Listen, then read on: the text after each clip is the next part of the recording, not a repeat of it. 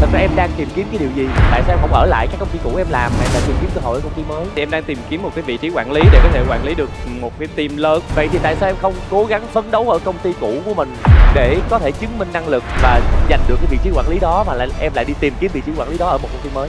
Em làm việc ở đó cũng được 3 năm và cảm giác là cái cơ hội mình phát triển thêm nó không còn.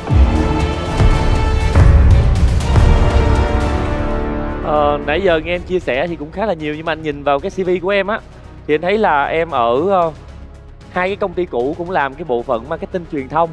Rồi bây giờ em lên đây em cũng tuyển dụng em tìm cái vị trí đó thì thật ra anh muốn hỏi kỹ hơn là thật ra em đang tìm kiếm cái điều gì? Tại sao em không ở lại các công ty cũ em làm mà em lại tìm kiếm cơ hội ở công ty mới? Thực ra thì em đang tìm kiếm một cái vị trí quản lý để có thể quản lý được một cái team lớn và ở cả hai mảng luôn. Tại vì những tất cả những cái mảng mà em có liệt kê thì em cũng đã có kinh nghiệm làm việc qua rồi. Vậy thì tại sao em không cố gắng phấn đấu ở công ty cũ của mình để có thể chứng minh năng lực và giành được cái vị trí quản lý đó mà lại em lại đi tìm kiếm vị trí quản lý đó ở một công ty mới. Em làm việc ở đó cũng được 3 năm và cảm giác là cái cơ hội mình phát triển thêm nó không còn. Ngoài ra thì ờ, cũng có những cái ờ, vấn đề trong công việc em cảm thấy là nó chưa có phù hợp. Nhưng mà nếu vì bản thân em năng lực chưa đủ chưa lên được vị trí quản lý mà em tìm vị trí quản lý ở công ty mới thì liệu có bất công cho công ty mới không? Em nghĩ là mình có đặt ra một cái mục tiêu và mình sẽ phấn đấu nỗ lực thôi Tôi nghĩ là ứng viên của chúng ta thì ờ, có thể về chuyên môn công việc cũng có thể trong một cái khoảng thời gian ngắn, chưa có thể trao đổi được hết cùng với lại ờ, các sếp. Nhưng mà với công việc kia ờ, các bạn đang làm thì cũng có thể thấy là nó cần đến nhiều cảm xúc. Qua những cái đam mê rồi qua những phần thể hiện của mình thì cái phần cảm xúc ấy nó cũng được bộc lộ. Nó cũng là một cái tố chất cần thiết cho công việc của bạn ấy.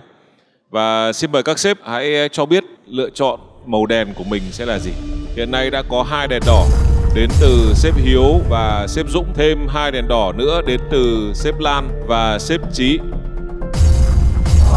Vâng, như vậy là cả 6 đèn đã đều là đèn đỏ. Có thể là ngày hôm nay bạn đến đây để tìm kiếm một cơ hội nhưng mà à, rất tiếc là những gì mình thể hiện chưa phù hợp với lại những vị trí mà các sếp đã mong muốn. Ờ, chúng tôi cũng rất muốn ờ, bật mí với lại các sếp cũng như là quý vị khán giả về mức lương kỳ vọng của bạn Nam, kỳ vọng cho vị trí công việc mà bạn đang ứng tuyển. Xin mời mức lương kỳ vọng 29 triệu 091.997 đồng. Anh tin là với những gì em thể hiện thì em chỉ còn thiếu một tí thôi. Đó là những con số. Là những con số có thể thuyết phục được những vị sếp rất dễ tính nhưng cũng rất tỉnh táo của chương trình cơ hội cho ai tôi nghĩ là nếu như mình có một cái sự chuẩn bị kỹ lưỡng hơn, đặc biệt là chuẩn bị những con số, những cái kết quả mà mình đã đạt được trong công việc thì sẽ dễ dàng thuyết phục các sếp nhiều hơn ban đầu thì tôi đến với cuộc thi này không đặt nặng bất cứ một cái vấn đề là mình phải đạt được uh, sếp nào lựa chọn hoặc là có một cái offer tốt để mà mình uh, có một cái cơ hội việc làm. Việc mà sáu sếp không chọn thì tôi nghĩ ở đây có thể là mình chưa phù hợp hoặc là mình chưa có cơ hội để mình thể hiện được hết tất cả những kinh nghiệm kiến thức của bản thân mình thôi. Uh, tôi nghĩ là mình sẽ có những cái bài học từ chương trình này và nó sẽ uh, phù hợp hơn trong tương lai với những cơ hội khác.